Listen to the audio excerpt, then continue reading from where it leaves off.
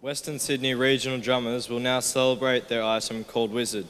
During this performance, energy builds, pulse increases, and the journey of life is rejoiced through a series of drum rhythms.